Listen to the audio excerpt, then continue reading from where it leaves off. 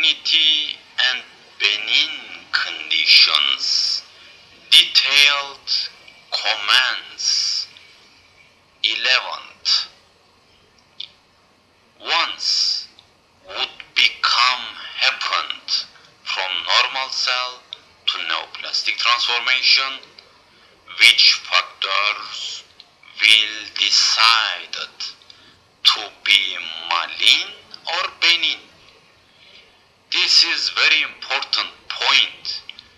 Different energy degree level would have been determined.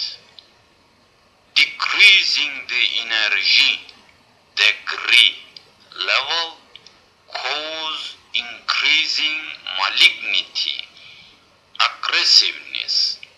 Oppositely, increasing the energy degree level, decreasing the malignity or benign.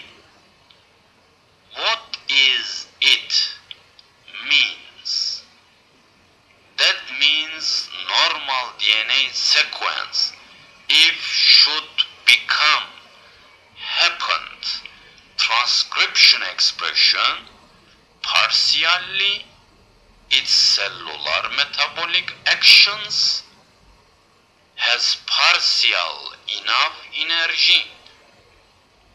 Nearly regulated as homeostatic balance.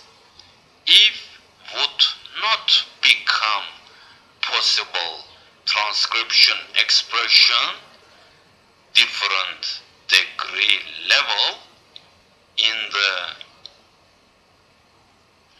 normal DNA sequence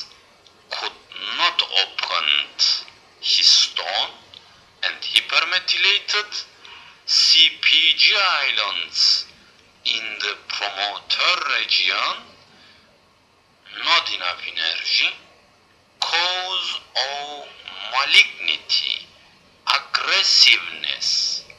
Thank you very much.